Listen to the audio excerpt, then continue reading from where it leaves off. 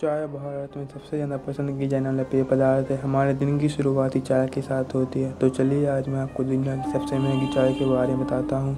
दहोक pouty चीन के फुजिन प्रांत के बुई पहाड़ियों में उगाई जाती है। यह चाय दुनिया की सबसे ज़्यादा महँगी बिकने वाली चाय है। यह चाय मदर दहोक पेड़ों की पत्तियों से प्राप्त होती है। यह पेड़ हज़ारों साल पुराने हैं।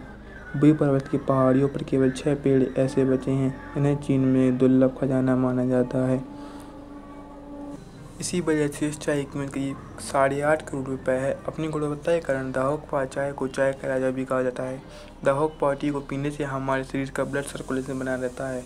यह हमारे शरीर से एल्कोहल और निकोटिन कम करती है, साथ ही इसे पीने से हमारी स्किन ग्लो करती है। यह हमारा वज़न कम करने में सहायक होती है।